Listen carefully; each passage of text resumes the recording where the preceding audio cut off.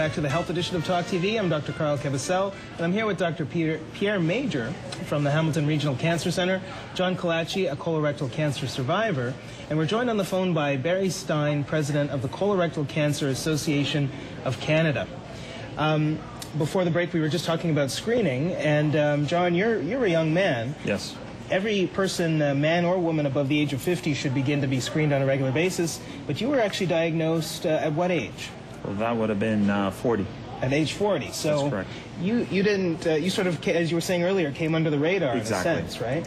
The doctor told me that 99 point percent, it's not what you think it is. And I was reassured, and, you know, it was a doctor telling me this, so I went home not too worried about it. Yeah, your doctor was playing the averages basically. Exactly. It was unlikely that you had colon cancer. I just looked except too that healthy you did. You looked to too be a healthy. cancer patient. Right. So I, I think actually that really sort of underscores the importance of uh, advocating for yourself when you That's know right. that something's wrong in your body.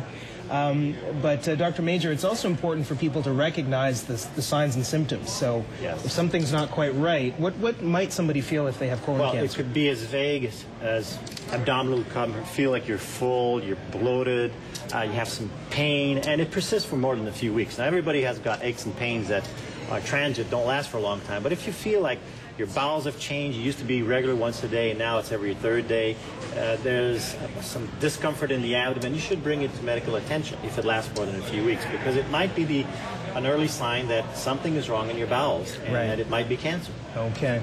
Well, Well, of course, if you have blood, that's a very worrisome sign That's that a red you should flag. not ignore. absolutely. Okay, let's go to the phones and we're going to speak to Gudrun in Woodbridge. Hi, Gudrun. Hi. Hi, what's your question today?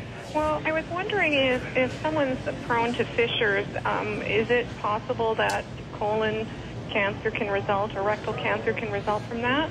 From an anal fissure? Yeah. Pardon? You, you, you're saying uh, you're asking if anal fissures are related to colon cancer? Yes. Okay, Dr. Major.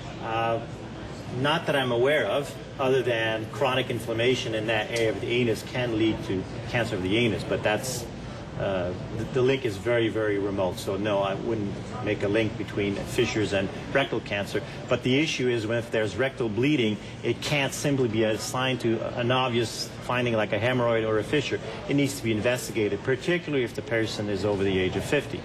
Better be safe than sorry. Okay, great. Well, that's something to keep in mind. Thank you very much. All right, thanks for your call, Gudrun. We're going to speak next to Roman in Toronto. Hi, Roman. Hi, how are you? Good, how are you? Oh, not too bad now. I uh, I I uh, am a cancer patient, just like uh, John is there. And Yeah. I had a very very positive experience by uh, using Avastin. I, I became surgically a surgical candidate for metastases, where I wasn't before that. Of course, I had to spend twenty five thousand dollars. And I, my question is, why isn't Ontario paying for this, whereas BC and a number of the other provinces are paying for it? And and before I, I go to let them answer the question, I'd also like to thank the drug companies who have compassionate programs because they do help us cover the cost of some of these drugs. Like Roche, in the case of Avastin, was excellent in helping me find a, a clinic to get it and also some subsidy towards the cost. Okay. That's you know what, Roman, that's a great question. Let me bring uh, Barry Stein back into the conversation. Barry, you're on the phone. Um, Roman asks, you know, he's had some good success with Avastin. These drugs, uh, these biologicals are really revolutionizing treatment of cancer. Why, uh, why is, is it not covered in this province? Uh, you know, why does the, the ministry not see fit to do this? Well, the argument uh, is, of course, uh, economic reasons that uh, they do not uh, feel that there's enough of a cost-benefit uh, relationship in order to provide uh, for it. However, I could tell you that in Newfoundland, in Nova Scotia, in Quebec, in Saskatchewan, and in British Columbia, all these provinces are covering it because it does extend life and it is a very useful uh, mechanism to add in, or another additional treatment to add in combination with the um, as John was talking about Folfox, that's the five-fluorouracil and the oxaliplatin and uh, and other medications. In fact, we feel so strongly about it that if you go to our website, where a lot of this information is available, just go to www.colorectal, C-O-L-O-R-E-C-T-A-L, hyphen cancer dot It's on the screen you'll right see, now. Yeah. You will see, click here to join the fight, and you'll get a lot of information about that in terms of requesting it for the province of Ontario and other provinces. In addition, you'll see a lot of other information on signs and symptoms and screening and treatments and so forth in general. Yeah. But all in all, um, you know, the caller is, is, is extremely lucky to be in that subset of patients that has had an, a very excellent benefit and qualify for surgery. And that's really what we look for uh, to accomplish in all of the cases. Unfortunately, it doesn't happen in all of the cases, but certainly we have seen extreme benefit. And I can Right. tell you, I just came back from the oncology convention uh, in Chicago, the American Society of Clinical Oncology, and the reporting there was such that it's undeniable that there is a, a very big advantage to having the addition of this new biologic or anti-angiogenic Yeah. um, uh, to the addition of the chemotherapies.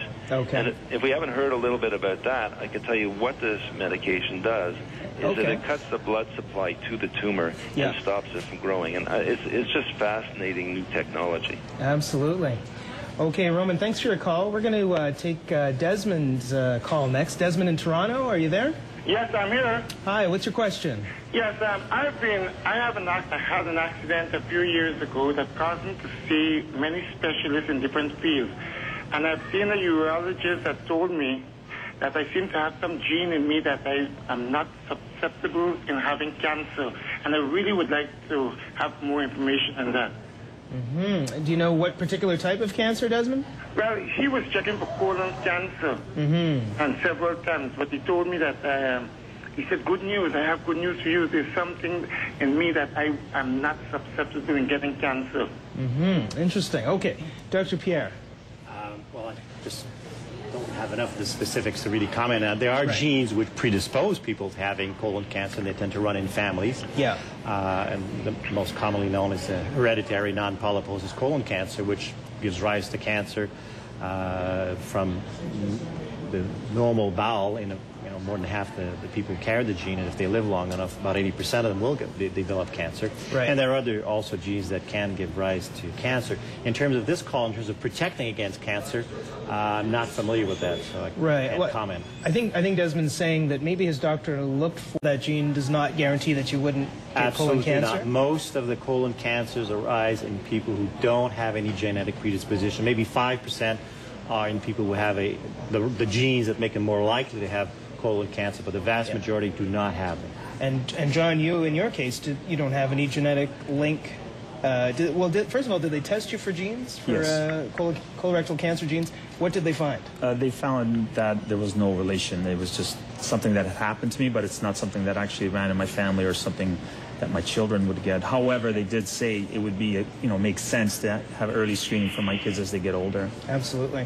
If I can add to that, uh, Yeah. Carl, one of the most interesting things about some of the findings of, um of some of the geneticists and so forth that we see in Canada is that the genetic testing is not, at this point, helping patients to, or helping the public to determine whether or not they're predisposed to getting colorectal cancer. Although there are some early uh, phase products out there which now have a once-in-a-lifetime predictive factor, but um, where it really seems to be playing a role is in those patients who are diagnosed with the disease. They can then uh, help them determine whether or not there is a genetic factor and whether other members of their family should be Right. screened earlier Yeah. than we would have otherwise have done so. Thank you, Barry. Yeah, th- I think that's important to say that there is no genetic test that someone can take beforehand to tell them whether or not they're going to get. Uh, in other words, there's, there's no screening test at a genetic level for colon cancer. Not yet available. no, Not yet available. It's not Okay. yet available, but I have to say I just visited with one of the uh, one of the newer companies who are looking in the field, and there are three or four new companies that are looking at uh, predictive factors. There is one in Saskatoon, Mm-hmm. which has a blood serum test, and another one in Toronto, also with a blood serum test. Okay. And then there's one based on spit, believe it or not, for a once in a lifetime prognostic factor. These are all in their early stages. Okay. It's time for a short break here on Talk TV. We still have a lot more show ahead of us, so call us now. We'll be right back.